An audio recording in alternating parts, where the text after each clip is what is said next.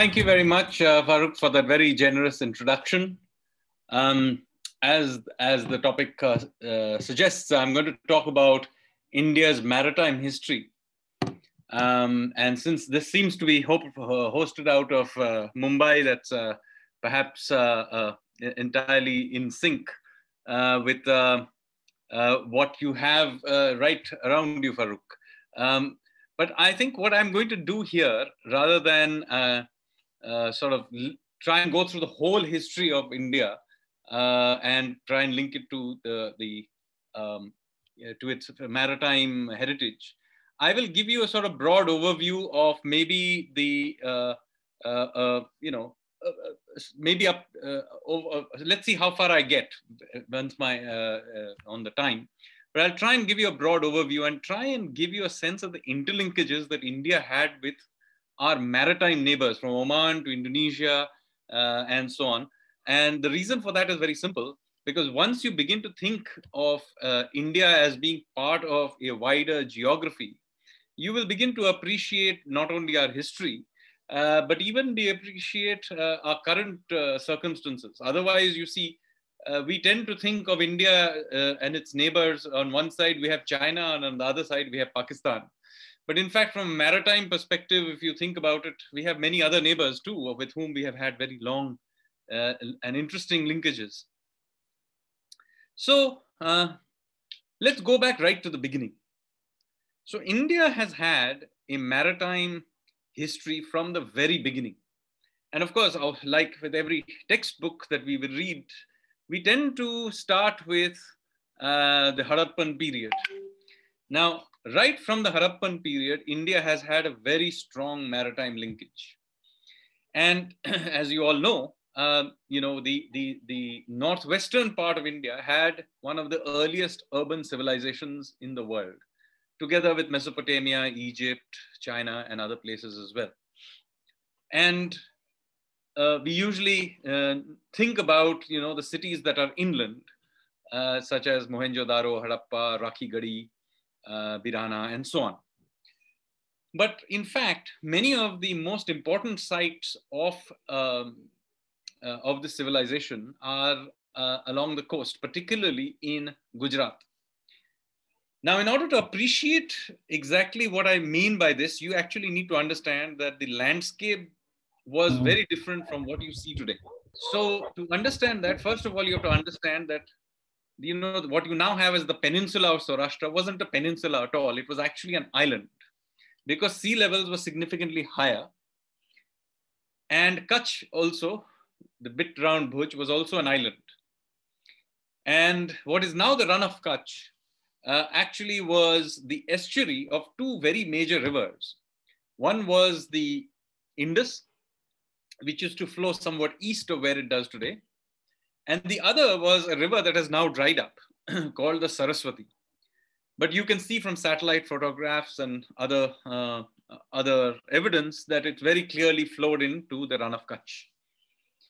So this landscape that you then have with Saurashtra as an island and Kutch as uh, also an island, um, with uh, essentially the Rann of Kutch, the little Rann of Kutch, etc., being actually waterways, then explains the landscape in which uh, one of the biggest cities and possibly the biggest port of the Harappans was built, which was at Dholavira. Dholavira is today on uh, an island, Khadir Island, but it's not an island out in water. It's surrounded essentially by the wall, uh, white salt flats of the Rann of Kutch. And on Khadir Island, when you go on, on, on, on there, if you ever visit Dholavira, which by the way is a phenomenally interesting place, you will immediately understand that this was obviously a port. And it is a very large settlement. And from here, voyages would be going in some cases up north along the Indus and the Saraswati when the initial phases where it was still flowing in full flow uh, into the inland cities. But interestingly, for our purposes, since it's a maritime uh, uh, history that we are talking about, uh, they could also go southward. And when they went southward towards the Konkan, they would have to go past a um, customs post. That customs post is what you know today as Lothal. So those of you who visited Lothal, uh, will, uh, when you visit there, it has a very large dry docks kind of place where you can come and, and, and dock uh, your ships. But uh, the settlement itself is actually quite small. But along this, between the settlement and the docks, there is a bunch of platforms. And very likely those were basically customs platforms. So the merchants would pull out their stuff and put it there. And you can imagine the IRS officers of that time peering suspiciously at the goods whether they were coming in or going out. And then they would sail down further south. Similarly, if you wanted to sail westward, you would have to sail past Dwarka. The name itself is interesting because it says gateway, it means gateway. And indeed, there is a site, there's a small island right next to Dwarka called Bet Dwarka, Dwarka, where a lot of Harappan anchors and other artifacts have been found. It was clearly a place where a lot of Harappan ships used to anchor. And from there, they would sail out towards the Gulf, uh, uh, the Persian Gulf. And there's lots of evidence of Harappan trade with this area, whether with Oman, with uh, Bahrain, and then finally out there um, with uh, Mesopotamia. So it is quite interesting that in the Sumerian uh, sites, in the cuneiform tablets, there are mentions of a people called the Meluhans who came from the east and they traded uh, peacock uh, feathers and ivory and beads and things, which we all, all of which are clearly uh, Harappan um, uh, products. We also have findings of Harappan seals.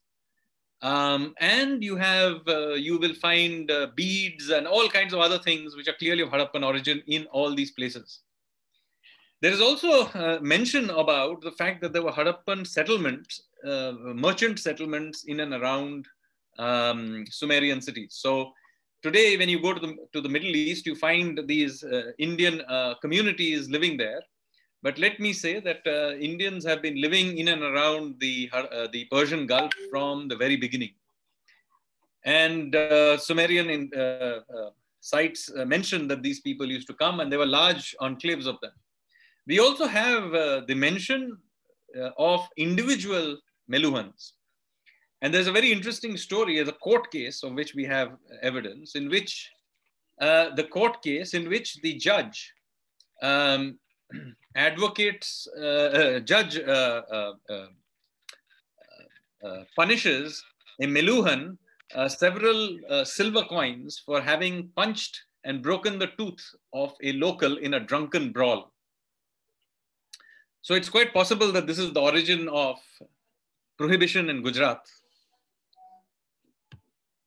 Now, this world that I just described was at its peak about 4,500 years back to about 4,000 years ago. That's when the great Harappan cities were at their full uh, flourishing. Trade was going along the coast. They were also also going inland.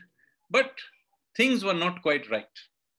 First of all, the river Saraswati, on which a, a very large proportion of the Harappan sites are based, and it flows from um, the, the Himalayas through Haryana, uh, Rajasthan into Pakistan and to the Rann of Kutch, uh, what is now the Rann of Kutch. Uh, that river began to dry up. Then the weather also began to dry up. And so very quickly, or rather not so quickly, over several centuries, this pattern kept doing till about 2000 BC. That's about 4,000 years ago, when there was a big drought and the climate system completely changed. The Saraswati River dried up completely, and many of these Harappan cities had to be abandoned. Dholavira itself uh, began to get marooned. I suppose sea levels also began falling. And so Dholavira found itself marooned in the middle of the salt flats. And uh, the entire network broke down. Now, by the way, this didn't only happen in India, it happened also in the Middle East. The Sumerian cities collapsed. It happened in, the, in Egypt, where the old dynasty uh, cities also went through a collapse. So they, this was a real climate catastrophe. Now, what did the people of these of this uh, of the Harappan cities do? Well, those of the Gujarat area, well, they moved. We have some evidence of later Harappan sites, and there's continuity culturally. They seem to have moved on uh, southwest, uh, southeastward towards the Narmada and so on. In the north, they moved up following perhaps the dying tributaries of the Saraswati. They moved up further and further towards the origins, towards the Shivaliks. Some of them moved eastward onto the Gangetic plains. And we have evidence of groups like the Mitanni who turn up in the Middle East. So there were obviously some westward migrations as well. Now, it is important here to point out that when these migrations into these new landscapes were happening, they were not moving into empty landscapes. There were people living there who had culture, their own uh, cultures. Uh, they, all they now uh, the Gangetic, now new archaeology in the Gangetic plains now suggests that um, there was already a well-developed culture there. And many of the cities of the Gangetic plains, like Varanasi, may in fact be just as old as the Harappan cities. And they have survived to this day.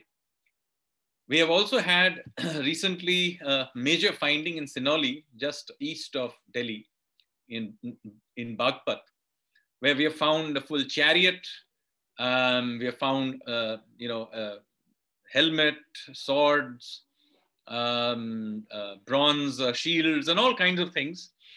And we can clearly see that this was a, was a distinct culture. Obviously, they were these two cultures were interacting, but the Gangetic culture was already a well-established culture by the time that the Harappans were declining. And, but it is with, when the Harappans began to move around, these people, the Gangetic people, must have interacted with them, and that interaction um, led to the development, development of what we now know as uh, Indian civilization. Now, this must have happened in the South as well. The problem is that so far, we haven't found till very recently major um, urban developments. Now, Clearly, there weren't too many of them because we would have found them, but there is some sites in a few places that we have now very recently begun to dig that there may have been some late Bronze Age sites, even in southern India, with their own culture. And it's possible they, they were already trading with and interacting with the Harappan people. And of course, there must have been some intermingling uh, with people from Gujarat as they moved southward. So all of this intermingling happened roundabout uh, in the in the uh, from 2000 BC onwards. Now, the next phase of Indian civilization now takes off with the coming of the Iron Age. This was, uh, of course, a technological change, but uh, it is quite interesting that the origins of it are not in northern India, but in southern India, particularly in and around the Godavari Valley. And the earliest use of iron anywhere in the world happens in the Godavari Valley. In fact, the first dig, interesting, uh, the oldest findings are interestingly in Hyderabad University itself, to, going back between 1800 and 2000 BC, the first systematic use of iron anywhere in the world. And this technology then begins to shift all over, uh, first to the eastern uh, and central Gangetic plains, and then westwards, outwards. Now, I want to point out here that there is all this uh, talk about the Aryan invasions, but let me show you there is no evidence of Aryan invasion in any of the archaeology that I have just uh, discussed. Moreover, uh, if there was a technological uh, advantage that is supposed to have been with the Aryans coming down from the Central Asia with their iron weapons against the bronze weapons of the Harappans, let me point out that iron technology is not a Central Asian, but a South Indian technology. If there was any technological advantage, it's the Indians who had it. Moreover, there is a lot of talk about horses as well. Here too, let me point out that India actually had horses from a very early stage. And in fact, there may have been, the horse itself may have evolved part of it, the time in the uh, grasslands of northern India, of course, much, much before the Harappans. Uh, but uh, there are uh, cave paintings in places um, in Madhya Pradesh, for example, where, which go back 10,000 years, which depict horses. So there were plenty of horses in India already. I already mentioned uh, that the earliest chariot anywhere found anywhere in the world has been found in India in Sanauli, which is in the Gangetic plains. And we have some evidence, some evidence that maybe the Harappans were importing horses from the Arabians as well. Um, so, just to put it in perspective, there were this this world that I described does not require Central Asians at all uh, to be providing either the chariot or the horse or iron weapons, because they were all found in India well before the so-called Aryan invasion that people bandy about around 1500 BC. Now, what happens is, of course, the Iron Age takes hold. Many of the cities of that period are cities that are we still know about because this is the period of the uh, Iron Age uh, and the epics.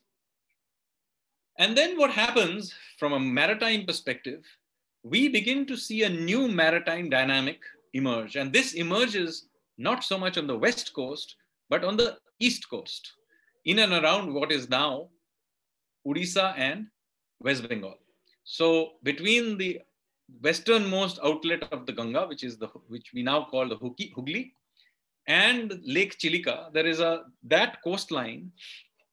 become you see this explosion of um, uh, small Iron Age ports popping up, and the Bengali Odia merchants begin to explore this uh, coastline. Some of them go southward, and they go along the coast, and they begin to arrive in uh, Sri Lanka. So it is quite interesting that the Sinhalese people of Sri Lanka today um, have a culture that is derived, interestingly, from this period and not from next door from uh, the Tamil Andhra coast, but from further north uh, from the Odia Bengali area. Uh, and they have uh, in their own legends, their myths, they talk about the arrival of a, a prince uh, uh, from the land of Vanga called Prince Vijaya, who arrives and he kind of establish a kingdom in Sri Lanka.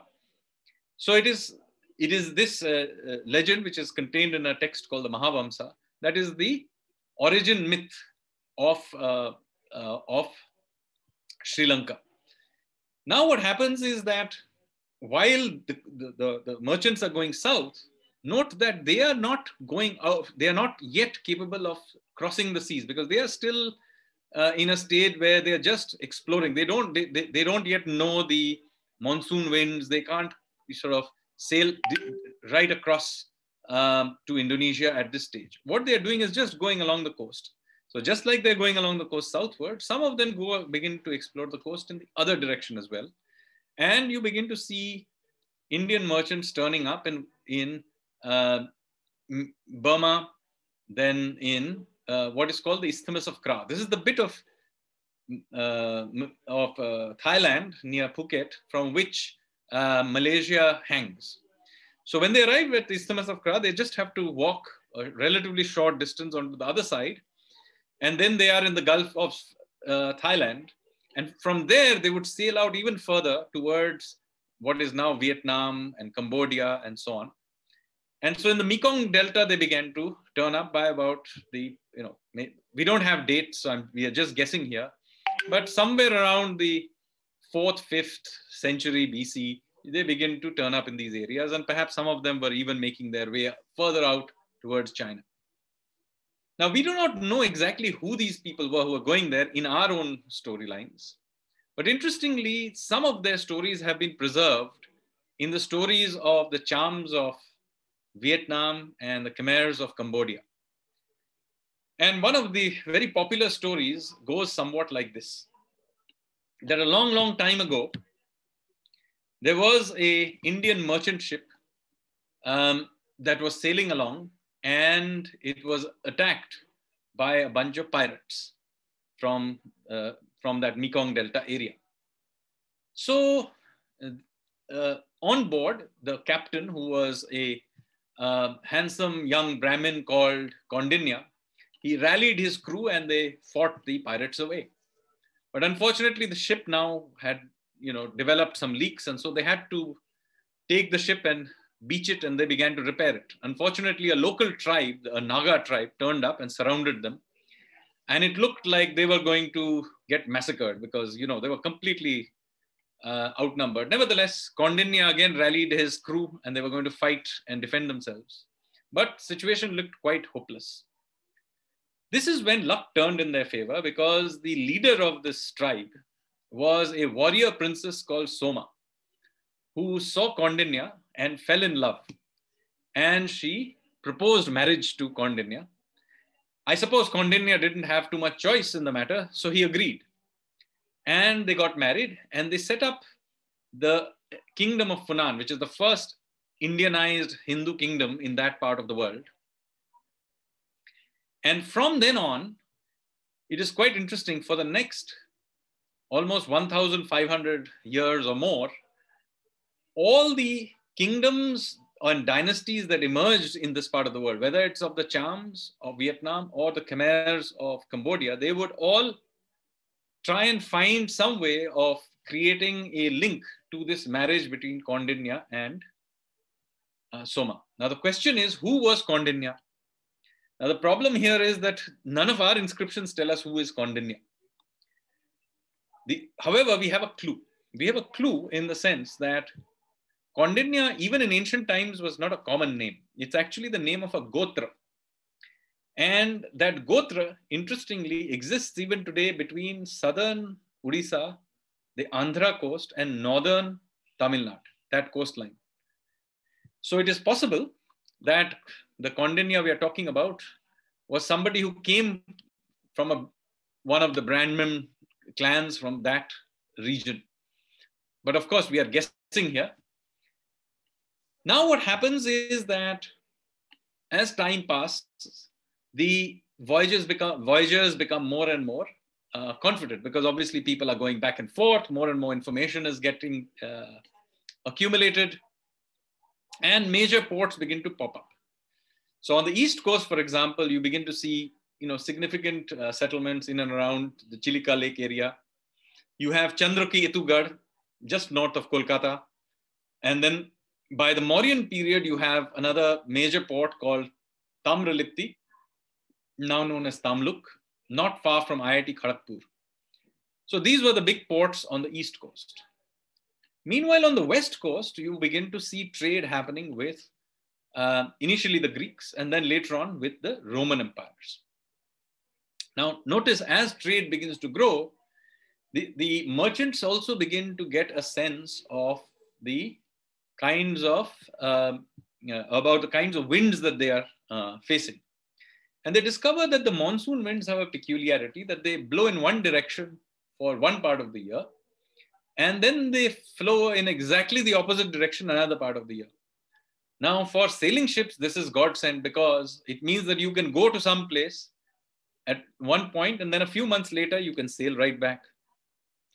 So, what we see is that more transoceanic rather than coastal shipping begins to take off. And we have a very good uh, sense of this because there is a, a, a, a, sailor's manual from a written by a Greek um, uh, navigator uh, from the first century AD, uh, probably from the city of Alexandria that we have got.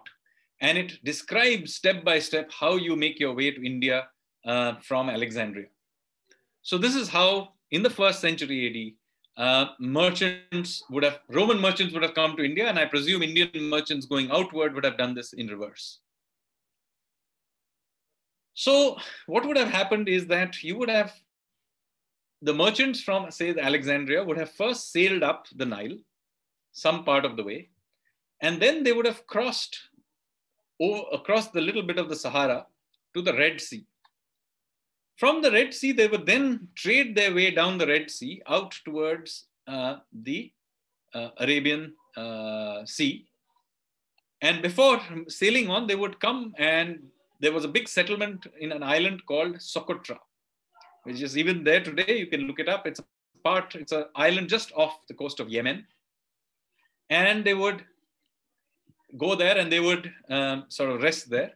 There was already significant number of Indians there in fact, the name Socotra itself is derived from Dvipa Sukhdara, or the island of bliss. And from Socotra, there would be one group who were wanted to go to Gujarat. They would sail up north towards uh, Oman and then eastward to uh, Gujarat.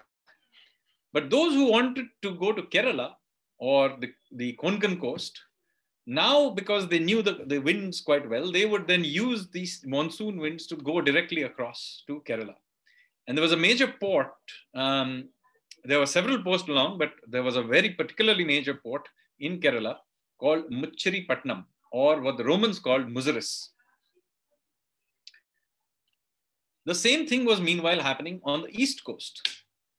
So you had uh, merchants. By this time, the entire coastline trade uh, on the east was trading. So you would have perhaps have Tamil, um, Andhra coast. The entire coastline was, you know, lots of trade going back and forth. So if you started out Tamralipti, you would probably um, st- start out, go, go out through the Sundarbans, out into uh, the Bay of Bengal. Then you would trade your way along the coast. You'd go down the Odisha coast, the Andhra coast, and so on, all the way down to Sri Lanka. Then, from Sri Lanka, somewhere near Trincomalee, you would then use the uh, um, transit oceanic currents and sail eastward to um, Sumatra. There you had two choices. You could either go down uh, the Malacca Straits, which is between Sumatra and, and the Malay Peninsula, or you could go on, down south to the Sunda Strait between uh, Java and Sumatra. And then you could further sail out eastward to all the way through uh, towards uh, you know Vietnam and Cambodia and China and all the way to um, um, Japan and Korea. In fact, Japanese history starts, interestingly, with the marriage of a local prince to a princess from Ayodhya. So there was obviously a lot of influence going. Uh, you know, I, Hindu and Buddhist ideas were also transported along, along with the goods. So there was a lot of traffic going back and forth. Now, what is the records of all of this in India? Well, it turns out by this time we begin to see a lot of uh, uh, artifacts, um, both on the Indonesian side and on the Indian side. And you can see a lot of giving and uh, back and forth uh, happening. Uh, for example, uh, you have heard of the Pallavas. Uh, now, the Pallavas were a dynasty that ruled much of southern India um, with their capital just east of what is now Chennai in Kanchi, Kanchipuram. And their main port was south of Chennai uh, in a place called Mahabaleshwaram. Now, this dynasty itself is interesting because, um, you know, there's a lot of debate about what the male lineage of this dynasty is. But in fact, it is interesting, uh, it, is, uh, it is quite curious that the Pallava inscriptions themselves don't seem to give a very clear indication about what their own male lineage is. There's a conflict, they seem to conflict each other. What it does suggest, however, what they really seem to have paid more attention to was the female lineage, because no matter what the story is of their founding of their dynasty, it all starts with one of their ancestors marrying a Naga princess. Now, the question is, where did the Naga princess come from? And in my book, Ocean of Churn, I've made a case that this Naga princess was almost certainly from Southeast Asia. Either she was from uh, um, uh, she was from Indonesia or Malaysia, or she was from Cambodia. And so there were clearly a lot of uh, interlinkages. But we do have a very interesting story from this period, which you will find fascinating. That somewhere in the eighth, early 8th century, the Pallavas had a real, faced a major crisis. And the crisis was this, that the, the, the Pallava king had died and he had not left behind any heir. So there was a lot of panic that the Chalukyas would finally come in, who were the mortal enemies of the Pallavas, the Chalukyas would finally come in and conquer the Pallavas. So all the chieftains, all the scholars, priests, uh, governors, uh, the royal family all gathered together in Kanchipuram and had this grand conference to decide now what should be done. When somebody remembered that uh, about three, four generations earlier, the younger brother of the um, Pallava king called uh, a gentleman called Bhima had gone off to sailed off to a far off land and married a local princess there and stayed there. So somebody came up with the idea why don't somebody sail to this other kingdom and see if any of the descendants of Bhim were willing to come back to India and become um, the ruler. After all, they were also Pallavas. So a delegation of Brahmin scholars was put together, and they went to Mahabalipuram and they sailed across. And you know, the, the, the, then they sailed. They seem to have traveled quite some distance through forests and so on. And anyway, they eventually reached the uh, um, the court of this king, uh, who uh, or prince, who was the descendant of uh, of Bhima, and asked for one of his sons. Now it turned out that he had four sons, but the first three sons declined to go. Um, I mean, I probably don't blame them. In those days, it was probably quite suicidal to be going off like this uh, to some place that they had no idea about. But the youngest son, who was only 10 or 11 years old, he agreed that he would come. So he got into the, he went back, came back with the delegation, sailed back to Mahabalipuram, came to Kanchi, and he was crowned the king. And then there is the stories of how he fought with the Chalukyas and chased them out and so on. Now, the story is interesting because you suddenly have the story that one of the that that one of the great kings of South India, his name, by the way, was Nandivarman II, which is the title that this boy took after he became king, was in fact not Indian, but uh, of Southeast Asian origin. And the reason we know this story is interestingly because he himself has left this in inscriptions in a temple that he built in Kanchipuram. And if you visit that place, if, and you will be able to see that not only has he inscribed the story, he's also depicted this in series of panels. And we look at those panels, you will see that many of the characters in those panels have features that are clearly not from Southern India. They are clearly panels of people with Oriental features that are from Southeast Asia. So I thought it was, you would find it interesting that one of the greatest kings of Southern India, Nandivarman II, was um, either a, a, Indonesian or a Malaysian or a, or a, or a Cambodian from the, somewhere in that general area. So, um, as I said, time continued to move forward and trade links continued to grow. There was enormous influence of Southeast Asia, as you all know. In uh, uh, um, uh, there's an enormous influence of India on Southeast Asia, as you all know. Um, the largest Hindu temple in the world is not in India; it's in Cambodia, Angkor Wat. Um, there's a lot of influence of Buddhism, of course, in that part of the world. Uh, but there's also influence of that part of the world in India. I told you about the story of the Pallavas, but there are many, many little things that uh, we, to this day, uh, commemorate in our culture, which relates to Southeast Asia. For example, um, you have uh, the eating of pan and supari. Uh, you'll find it interesting to know that pan and supari are not Indian, but are actually Southeast Asian uh, plants that was brought to India from our trade with Southeast Asia. So uh, even today in certain parts of Southeast Asia, uh, they uh, have pan, supari. It's not as elaborate as in India, but pan, supari, and a little bit of lime is still eaten in many parts of Southeast Asia. So that's where it originally comes from. Um, now, there's a huge amount of trade going back and forth clearly.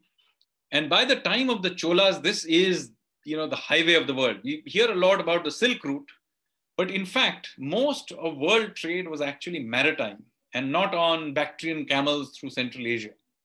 This was the backbone. You can call it the spice route or whatever you may like to call it. And there was a lot of trade going back and forth. The Indians were, of course, exporting um, uh, spices like black pepper. But it's important to remember many of the spices that Indians were exporting to the Europeans were actually spices from Indonesia that the Indians had purchased from the Indonesians and were passing on to the uh, to the Greeks, Romans, Arabs as as the time flowed. But India's own exports very often tended to be things like textiles. That was the very important export. And interestingly, also, steel uh, goods, particularly weapons. Uh, so India has a long history of exporting uh, weaponry, and the Damascus sword, which was uh, uh, very often, uh, which was used by the Arab armies to fend off the Crusades, was made using an Indian technology, and it's very likely that at least some of some of the equipment was directly imported from India. So this is the world we were in till about the 10th, 11th century. And since I'm running out of time, time now, I'm going to tell you a little bit about Roma, uh, about the geopolitics of the Chola period before I uh, open it up for Q&A. What was going on in, in that time was that world trade was, as I mentioned, was along the sea route and connected the empire of the Fatimids of Egypt um, through, through the uh, Arabian Sea to the Chola Empire, which controlled much of southern India. Then going eastward through the Srivijaya Empire, which controlled what is now Sumatra, uh, uh through Sumatra. And um, uh, in order, and, and of course, there were the various Javan kings uh, of Java, Shailendras and others. And there were two routes you could take. You would go either by the Malacca route or the Sunda, uh, Sunda Straits. And then you could sail all the way to east to the Song Empire of China. Now, what happened is uh, around about uh, the very first decade of the 11th century, the um, Javans began to threaten the Sumatrans. And the Sumatrans asked for uh, support from the Chinese. So the Chinese Song Empire gave them a lot of support.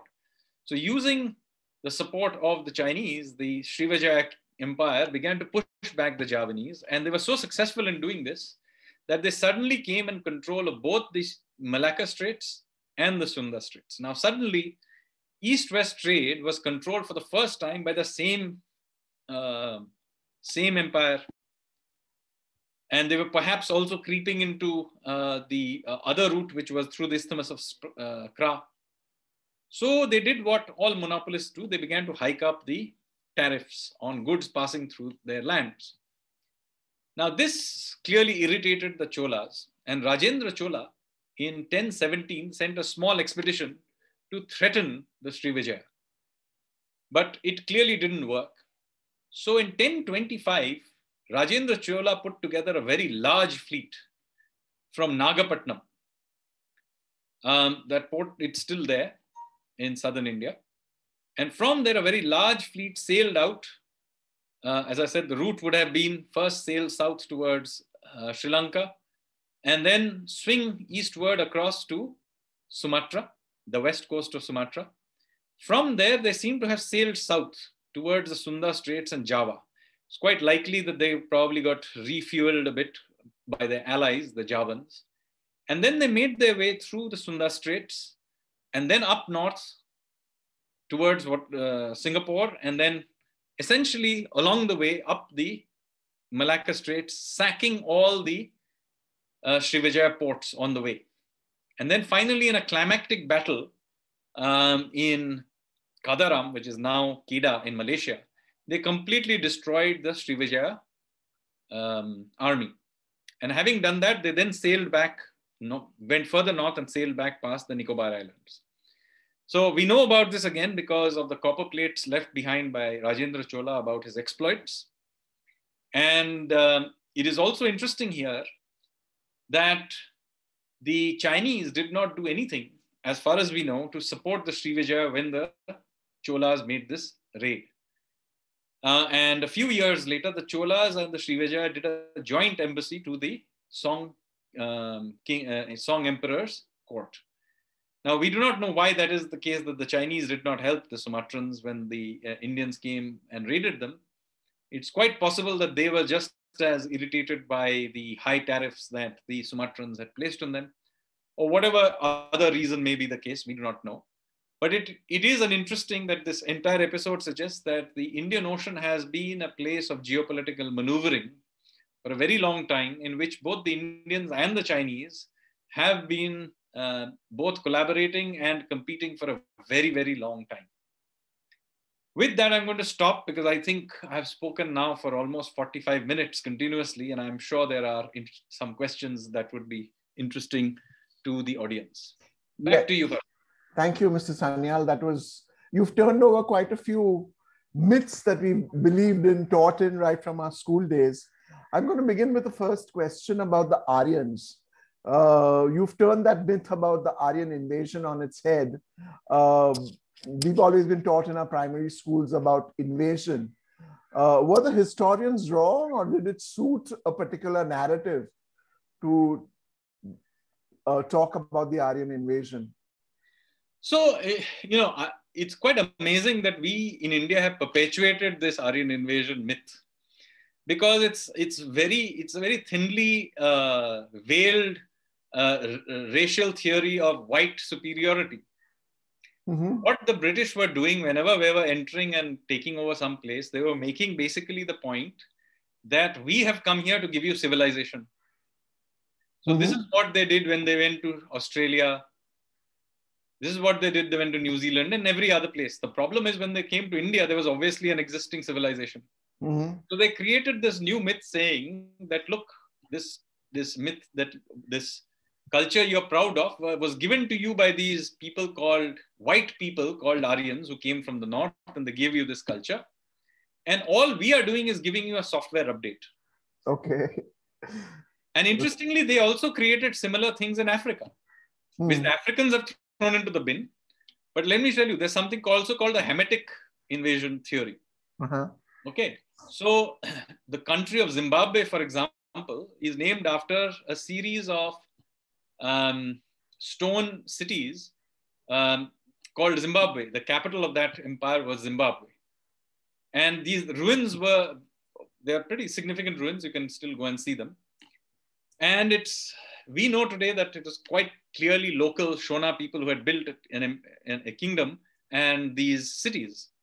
But when they were originally discovered, uh, the Europeans made the story that no, no, these local black people are, you know, can't possibly have built this. So some group of people must have come from Europe uh-huh. and have built these. And so they called it the Hamitic invasion theory. Mm-hmm.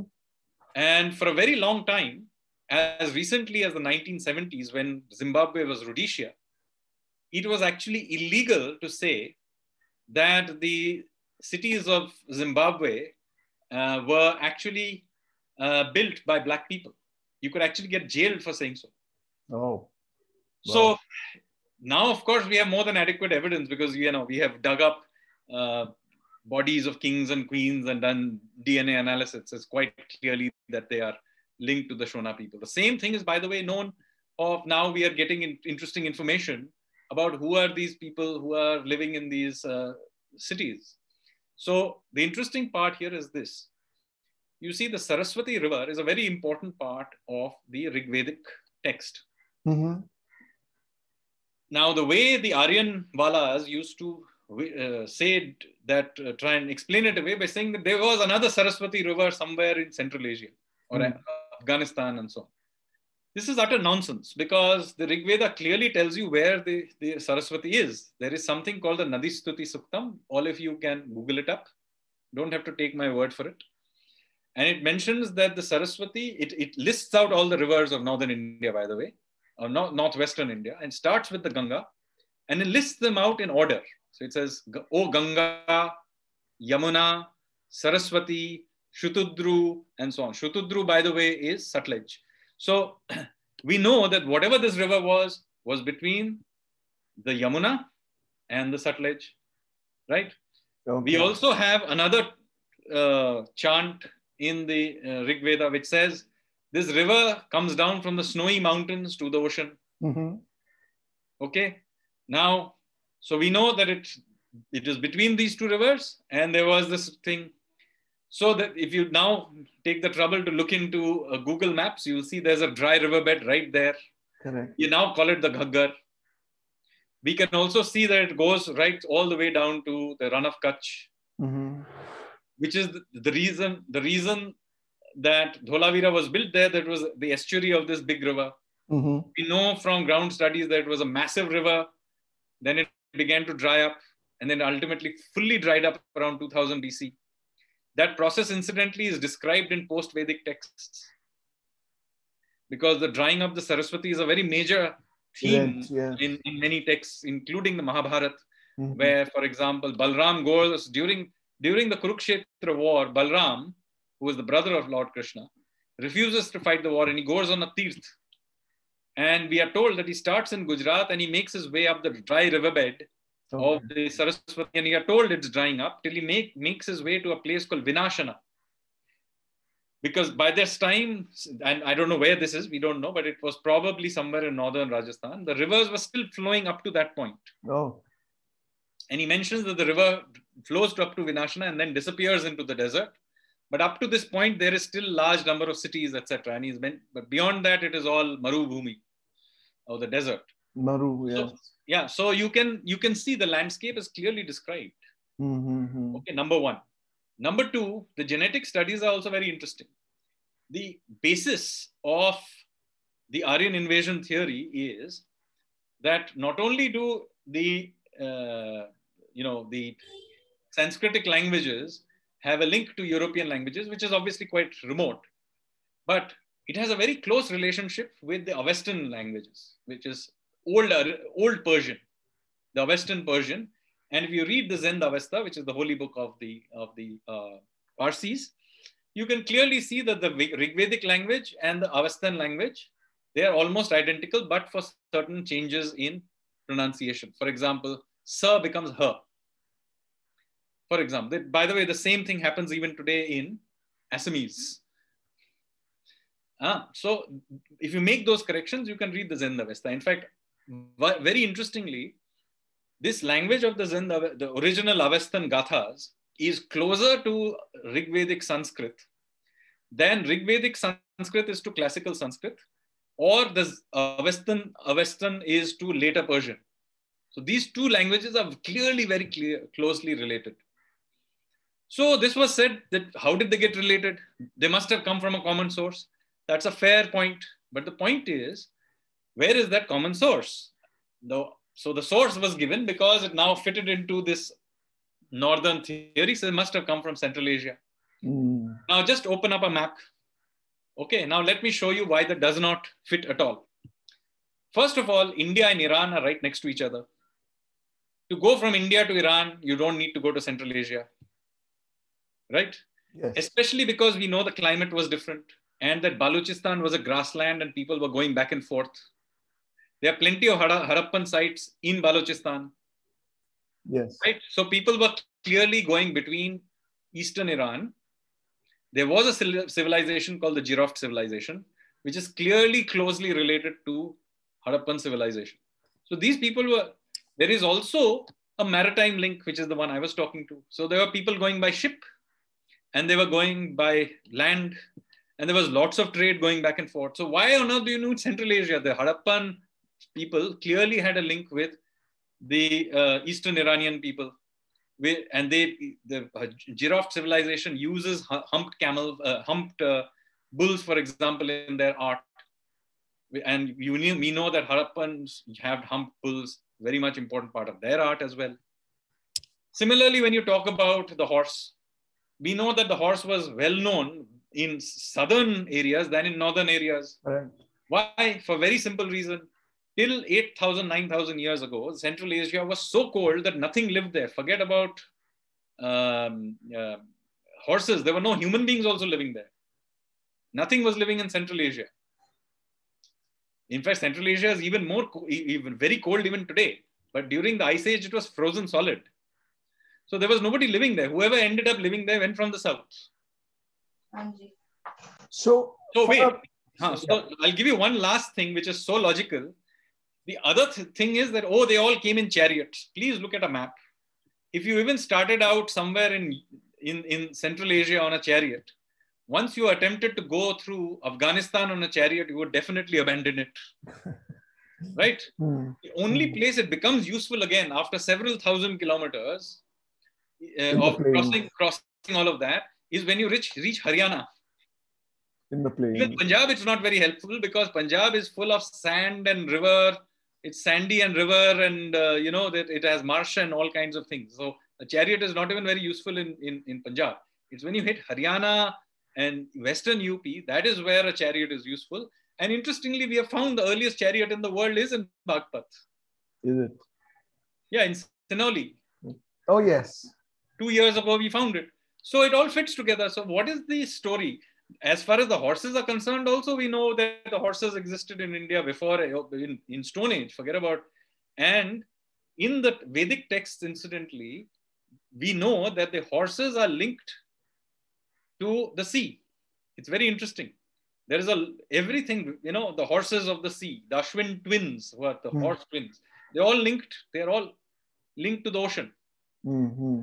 Why are they linked to the ocean? Well, one possibility is because they were importing from Arabia and other places, they're importing horses. We know that Arabian horses from a very early stage were very prized. So this mm. is a hmm. southern story. This is not a northern story.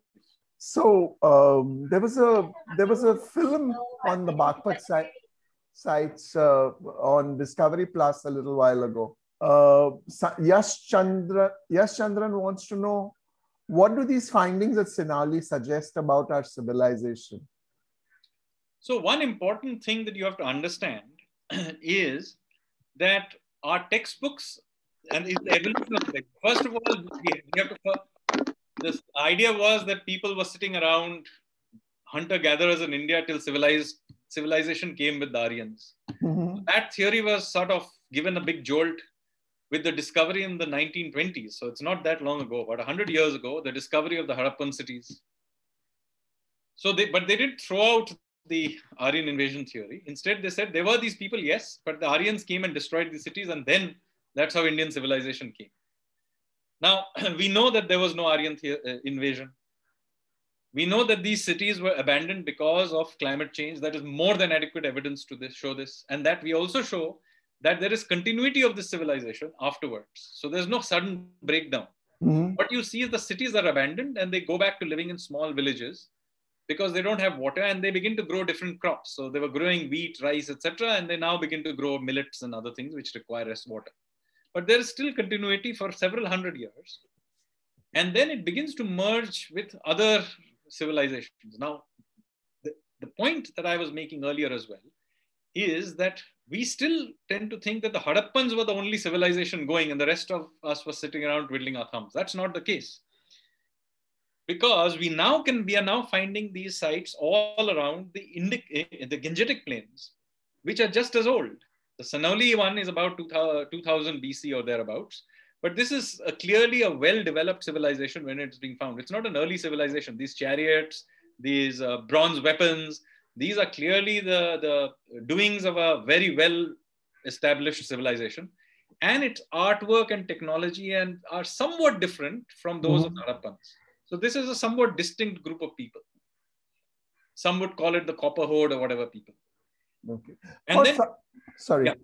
And sorry. then you have these kinds of sites going all the way. So you're finding sites in and around Prayagraj, which are quite old Bronze Age sites. Mm. There are some indications that Kashi itself, Varanasi, is just as old as the Harappan sites.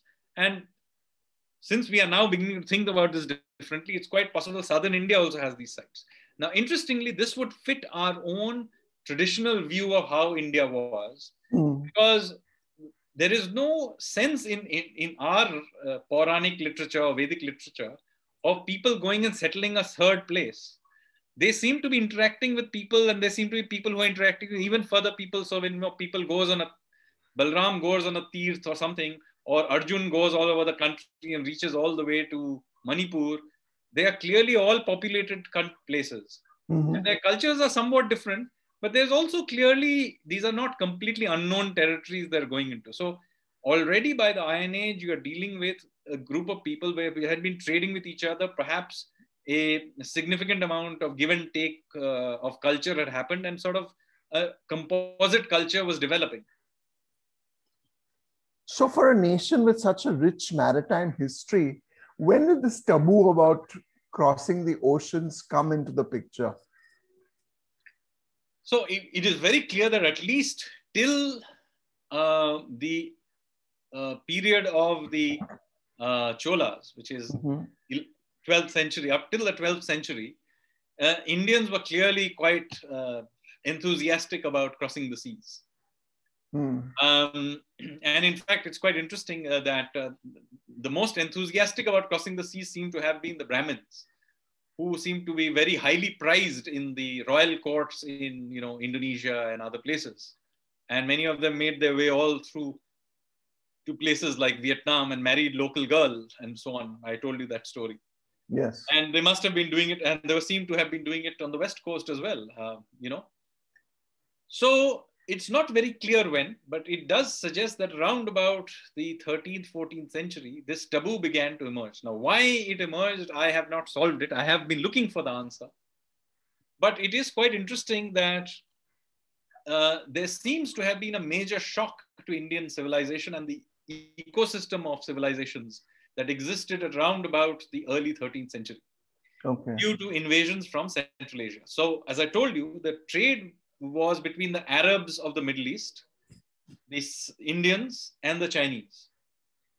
And at about the same time, first the you see this huge invasion of Turkic invasions into India, which causes mayhem.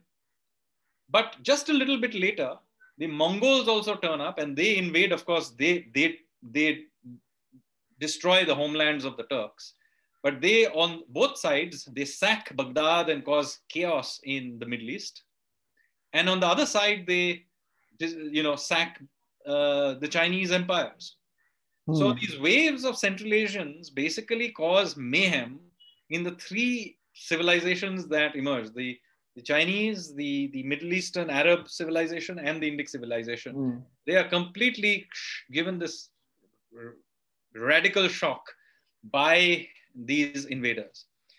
And it's, it, it, it's devastating to all three of them.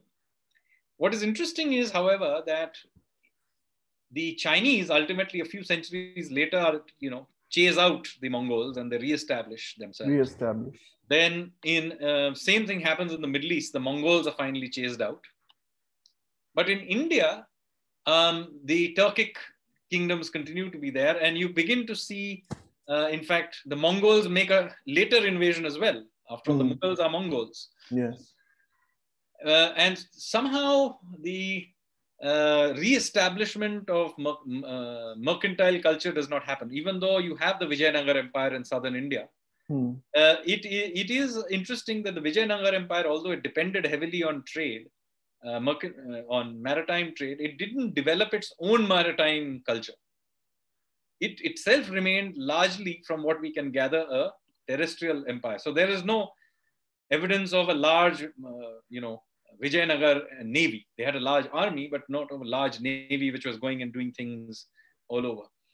So I, as I said, I'm not quite sure why uh, in Indians and I would say Hindus in particular developed this taboo, but it was not always entirely, uh, what should I say, uh, entirely So, for example, the Gujaratis, particularly the Kachis, continue to sail, uh, including the Hindus. Mm-hmm. And you do have uh, other groups also doing some sailing, Chettiars and so on. Okay. But yes, I mean, compared to the glory days of the of the Pallavas and Cholas, etc., there certainly seems to have gone into decline.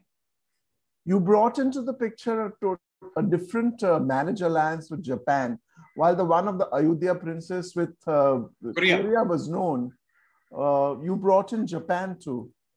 Yes. So there is a lot of trade going back and forth clearly with that region. Mm-hmm. And we have, for example, Pallava and Chola uh, period um, uh, Hindu temples that are built all along the Chinese coast. Yes. Um, that have been found. Uh, they are even um, some of them are still in use, although they have now uh, appropriated to Chinese goddesses, but the the the uh, the idol is still the same. It clearly is a South Indian idol that is worshipped still in some of these temples. But what Japan? Yeah. But Japan also has this. Uh, it imbibes a lot of culture coming through, and to this day, uh, uh, Shinto temples across Japan have shrines to Saraswati, shrines to Ganesha, to Indra. And uh, Buddhist temples, interestingly, there conduct Vedic yagyas to this day. And the word Shinto, by the way, is derived directly from the word Sindhu, which, by the way, is the same root of Hindu. Correct. So there is clearly huge influence of Hinduism, which in, in the East, in the West, the wo- word Sindhu becomes Hindu, but in the East, it becomes Shinto. And Shintoism is essentially local animism combined with Hinduism. Hinduism. So Rahul wants to know what is the earliest instance of use of naval uh, navy as we know it today.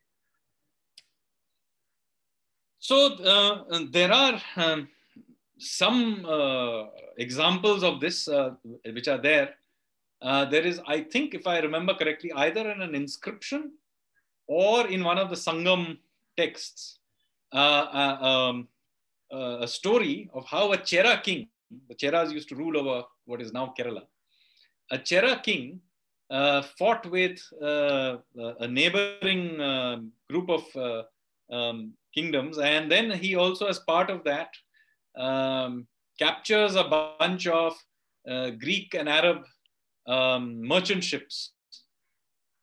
So there is a mention of that. I don't know off the top of my head right now. I can't remember the story. But there is, I think, somewhere, I think the second century uh, BC or second century AD, somewhere from that period, uh, there is an instance of the Cheras using um, um, you know, a, some sort of a, a naval ship to uh, do this. So did the Cheras precede the Cholas or were they, did they come afterwards or were they No. timelines? This is a very interesting facet of southern or the southern tip of India. I won't call it southern because south includes Karnataka, Telangana, Andhra, etc. But the very southern tip of India, which is uh, Tamil Nadu and Kerala, have a very interesting history of a triangular battles between three clans over a very long, you know, hundreds of years. So one of the clans were the Cholas, Mhm. who came from Tanjavur. You had the Pandyas who came from Madurai. And you had the Cheras who came from Kerala area. Kerala. And these three clans were essentially at war with each other over hundreds of years. Hmm. And uh, sometime, you know, depending on the situation, two of them would gang up against the third or whatever. And the Sri Lankans were also involved in this because they would very often uh, build alliance with the, the uh, Madurai Pandyas. Hmm. So, so the most feared of this lot seem to have been the Cholas. they seem to have been the most aggressive. So, very often you have the Sri Lankans and the Madurai kingdom ganging up against the Cholas. Oh, So quite ironical given recent history of Tamil Sinhalese conflict. yes, yes. It was actually the conflict was mostly within the Tamils with the Sinhalese taking side, taking Mhm. one side uh, against the other. Hmm. Uh, and the Cheras would come into that picture from time to time Hmm. on one side or the other. So uh, this is basically the politics of the southern tip of India for very long periods of time. You would have occasionally, you know, another dynasty like the Pallavas or somebody else turn up, but this triangular battle uh, went on for a long, long time. Um, Amit's observation is that uh, uh, Southeast Asian languages like Khmer have a lot of Sanskrit words. Were they were there many linkages with that part of India, with that part of the world? I think you've clarified that quite adequately. Um, I think it's a very broad question from Ramya. How can we make use of the shared history with our maritime neighbors to spread our influence and power? So, well, I mean, it's a shared history. Interestingly, our neighbors are very proud of it. Hmm. So when Indonesia became free at 1949 from Dutch rule, it named itself Indonesia. Correct. It, its national symbol is the Garuda of Garuda. yeah of Vishnu, um, uh, uh, and um, you know its currency is named after rupee, rupiah. Um, and you have many others. I mean, Singapore is named Singapura, Lion City. So there are many linkages, and they are quite proud of it. Um, you know, uh, even today there's a Hindu community of Chams in Vietnam. who are Shaivites, and so on and so forth. So there's a lot of linkages. The problem is the Indians don't know about it. In fact, I was quite surprised uh, how few Indians know about it. In fact, one of the successes of my book, Ocean of Churn, was I think many Indians for the first time realized these linkages. And the reason I think it's very sad, but uh, you know, our, our textbooks of history that we usually read are almost entirely continental history. So, and you know, it's one, and most of it is about one invader, then another invader, and yet another invader, and so on. Uh, again, the reason for that is very obvious because we have continued a colonial narrative which wanted to essentially tell us that you Indians have never been free. You have always mm. been ruled by somebody. Everything you're proud of has been given by somebody else. Therefore, your natural state is that we will rule you. Mm. And so this history was created and set up in this way. And I'll give, and just to show you how, since you're in Mumbai, you will appreciate it. If you read our textbooks, you will get the impression that the British conquered India from the Mughals, who were also foreigners. But in fact, the British did not conquer India from the Mughals. The Mughal Empire went into severe decline after Aurangzeb's death in 1707. Yes. From that point on, the Marathas ruled most of India. Okay, and they mm-hmm. ruled all the way from Tanjavur in the south, all the way to Attock in the north at one stage, including Delhi. There is a Maratha period in Delhi which nobody knows about. Yes, yes. And it is only after the third Anglo Maratha War that the British became the paramount power in the early 19th century. So there was a 70 year, 80 year period where the Marathas ruled large parts of India from coast to coast, by the way, from Odisha to Gujarat. And this bit of history has been happily left out of the storyline. It's only recently that that catchphrase has been coming out, Cuttack to Attock. Yeah, yeah, Cuttack to. Yeah. Uh, so this this is not a catchphrase of recent history. This is there. No, no it okay. is not. It's there in uh, Maratha history even at that time. I stand 18th, corrected. It's an 18th century term. Okay. I forget who wrote this, but the 18th century um, writings which have this. And of course, they, uh, you know, we know of Tipu Sultan being defeated by the British. Yes. we're not told that the Marathas were equal partners in that. Uh, uh so it was actually, uh, you know, the, the Malayalis from Travancore coming from the south, from the north, the, the, the, the, coalition of the Marathas with the, the Nizam of Hyderabad, and from the east, they were attacked by the British. So it was a coalition that defeated Tipu Sultan. And um, since the British wrote subsequent history, we are only told the British won that war.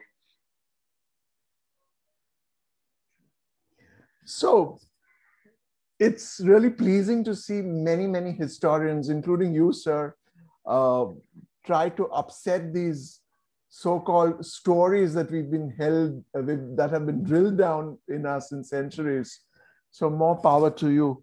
I think we re- we've reached the end of the questions. If you'd like to make any overall closing comments before I request. No, I, I, mean, uh, thank you for giving me this opportunity. Um, many of the places I mentioned in my talk are places you can happily go and visit. Um, you know, don't take my word on any of the things I said. So you can visit Dholavira, you can visit Mahabalipuram, and you can visit uh, Chandraketugarh and, uh, you know, uh, and many of the dozens of other places I mentioned along the way that uh, uh, in my talk. Uh, and there is a book called Ocean of Churn, which uh, yes. has the longer history with more, much more detail. But in every one of the cases, uh, you know, I have visited almost 90% of the places I talk about. So do visit some of them. They are very, very interesting. Thank you. Thank you. Thank you for your time and thank you everybody for attending. Do attend more walks.